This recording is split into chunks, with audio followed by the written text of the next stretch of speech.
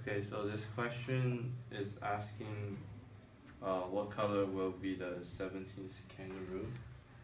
So the sequence is blue, green, red, yellow.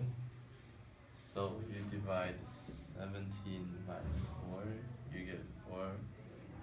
And uh, 1 remainder. And um, so the only one left is.